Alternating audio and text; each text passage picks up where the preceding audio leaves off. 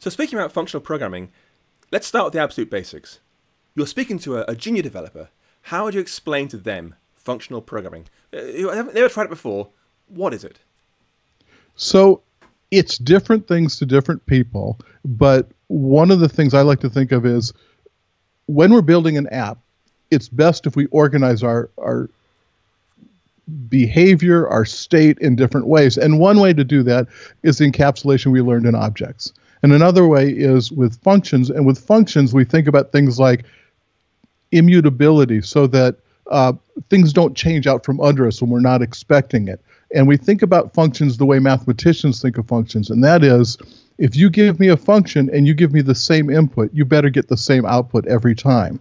And that's not what we do in OO. You know, we call random and we get a random number. We call random again, we get a different number. And we're perfectly fine with that. And so in functional programming, we want that uh, repeatability, we want dependability, and we want to know when things are mutating and be able to train it a little bit. Now, I'm not an expert in functional programming. I am learning it. I'm learning it to the point that I feel comfortable explaining it to people, but I'm only a several years in. And so there are people that know it, you know, pe- in the old days when we did something in, in uh, Objective C or Java, people would say, oh, we did that in Smalltalk 20 years ago. And now we hear the same thing. You know, we say something clever in functional programming, and the Haskell people say, oh, we did that 20 years ago. yeah. So when Daniel says he's learning functional programming, what he means is that, what, 18 months ago, I met Daniel at NS Spain, and I was saying, Dan, you've been doing some, so many great functional talks, doing such great work. When are you going to write this functional programming book?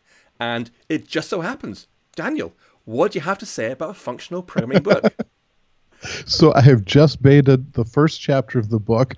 Um, this first chapter is really special. I, have been um, putting this through tech review, and I had this throwaway page where I made this reference to magic. And James Dempsey gave me some feedback. He said, I want more here. And it grew into an entire chapter. And so the first chapter is sort of using a magic metaphor and a magician doing a trick. And we learn how to do a trick using a mutating deck of cards and then a non mutating deck of cards. And uh, so to continue what you were asking about functions, uh, so I'll finally get to the question you asked me. Uh, the second chapter, I talk about functions aren't special because that's one of the things you have to get your head around in functional programming is, you know, functions are first class objects. So the same way you can pass me a string, you can pass me a function. And the same way I can store a string in a property, you can store a function in a property. And then in chapter three, we take a look at, well, if functions can accept strings, they can also accept other functions. And this gets you ready for things that are in the Swift standard library, like map and sort and filter and all those. Mm. And then the end of the book, uh, I might as well tell you about all of it. Uh, spoiler alert: the end of the book says, you know, we have map for arrays, we have map for optionals. You can write your own map for your own types. You can write your own flat map, and it's a why and when you want to do that. And so it's it's my usual Kickstart style. There are more comprehensive introductions to functional programming, but my idea is you're a smart programmer.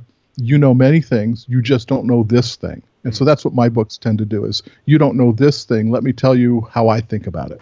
Fair enough.